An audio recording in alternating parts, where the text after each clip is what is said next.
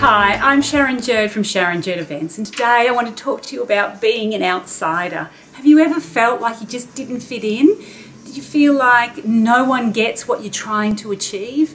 Well, I've had that many a times, and I, you know, say to people, "This is what I'm going to do," and they look at you really weird, like, or you know, they just actually laugh at you, or they make some negative comment.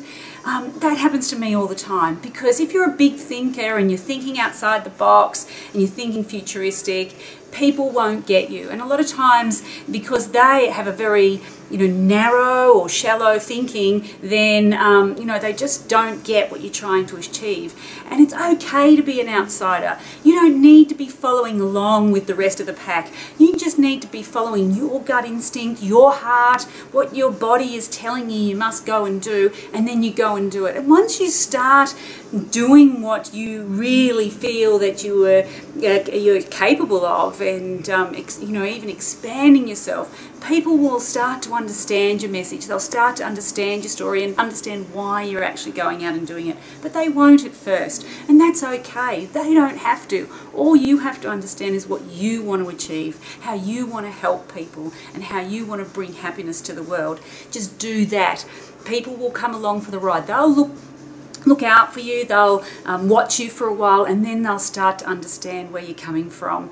But don't worry about being an outsider. I look around all the time and there's nobody like me, and I don't fit into any sort of mold. I'm not a rah rah, you know, public speaker, you know, I'm not um, very conservative, but I'm a, you know, a, a very straight talker. I say it like it is, and not a lot of people, I think, like that but then a lot of people do like it. And you know, I'm not here to tell everybody, you know, it's all going to be, you know, looking through rose colored glasses. There are bad times, there are good times, and we all live through those. So, you know, I really straight talk about what I do, but um, I just know that people out there love how I get my message across and I keep forging ahead with what I want to achieve and I want to help as many people as I can. So if you're there wanting to help people and it's coming from a really good place in your heart, not money driven, but in your gut, in your instinct, whatever you like to call it, wherever you feel that in your body,